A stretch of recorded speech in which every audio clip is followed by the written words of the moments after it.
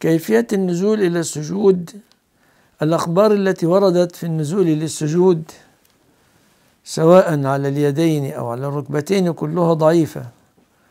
والذي صح في هذا الباب أثر عن عمر رضي الله عنه أنه كان يقدم ركبتيه على يديه عند النزول للسجود وبه أخذ الجمهور.